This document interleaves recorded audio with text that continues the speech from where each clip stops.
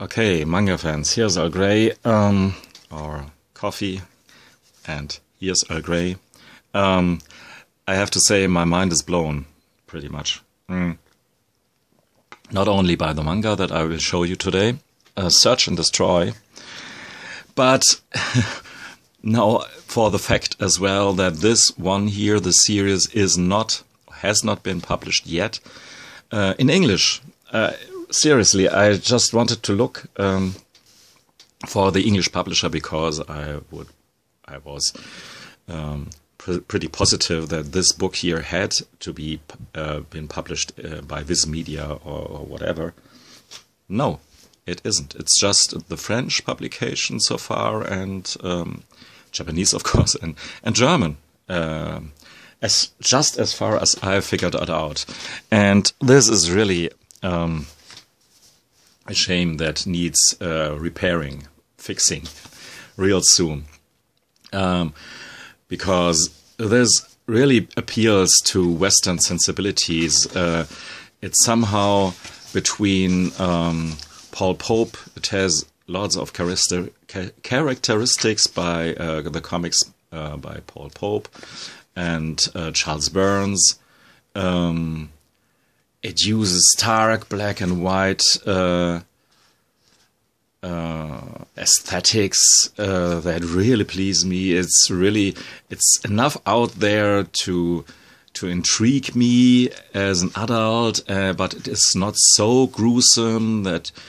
I mean, you can give this, let's say, a 15 year old uh, with good uh, confidence.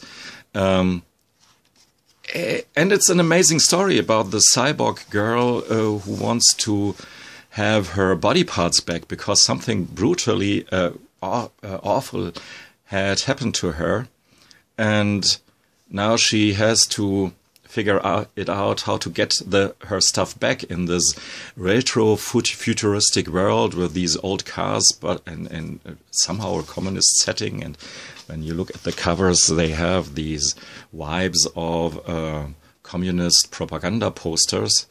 Um, there's a lot of very idiosyncratic uh, stylisms uh, go into the mix here. And when you look at that lady right there, I mean, this uh, screams Charles Burns to me. Not the more recent uh, Charles Burns, but the more freakish uh, black and white out there Charles Burns, if you can make some uh, separation. By the way, um, um, Daedalus uh, 2 is out in French and in German. Um, and somehow Charles Burns goes into new directions, more, um, yeah, maybe is a bit tamer.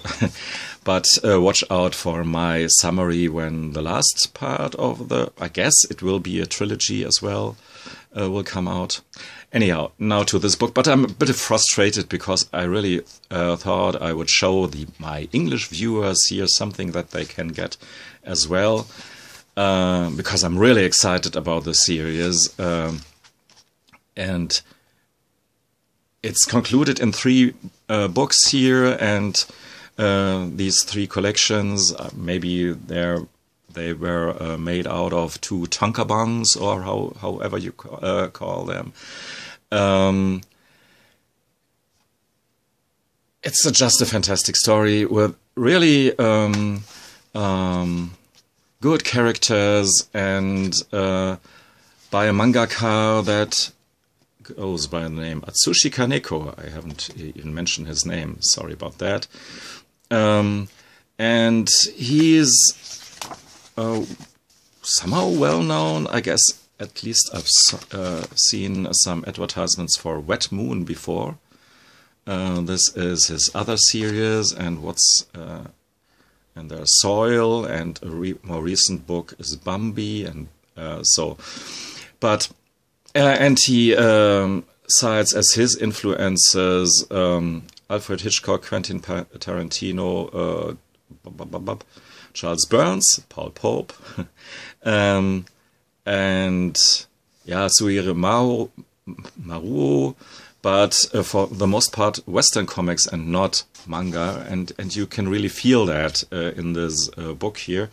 again, manga is not better or worse than Western comics. It's just something different. And for us Western readers, it's always a treat when you get this art that is more familiar to us. And um, this character um, is a reference to another character, but in uh, Osamu Tezuka's uh, version, uh, she was um, a boy, I, I, guess. I haven't read that. It's so it's uh, the same thing with uh, Astro Boy that was reinvented, sort of, or reused by uh, Urasawa in in uh, Pluto, um, which I haven't read either. But uh, I guess this is the same thing, same deal that they uh, did here, or he did, because he see it seems that he doesn't work with assistants, something else that he share shares more or less uh, with the Western. Um, oh, look at that! It's it's really a treat, and I really hope. Uh, okay, you will find maybe something a bit more adult here and there. Um, yeah, she has to get her body parts back, and so it's not so easy peasy all the time and and nice.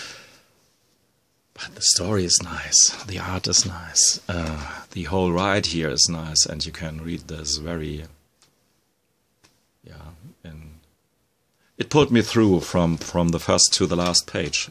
So it's really a bummer that uh, there is no English translation. But I think I repeat myself over and over again.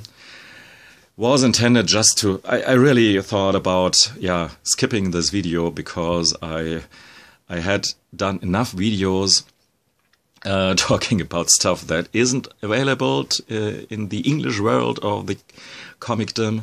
But hey, I really think that this book will be published uh, rather sooner than later. It um, in in German it uh, came out just recently, so yeah. Thanks for listening and watching. Goodbye.